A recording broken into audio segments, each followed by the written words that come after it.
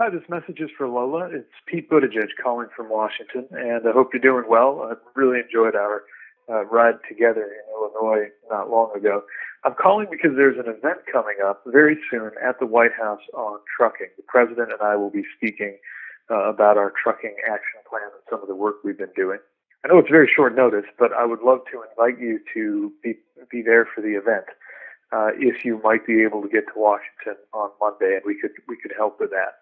Uh, my staff will, will follow up to see if this might be possible. Again, uh, I know it's very last minute, and I'm sorry about that. But if it does work, it would be lovely uh, to see you there uh, because uh, you, you certainly helped shape the way I think about uh, uh, trucking and, and uh, the, the professionals in trucking, which is what this is all about. So uh, more to come. We'll, we'll follow up, see if there might be a way to And uh, either way, wishing you all the best. Take care.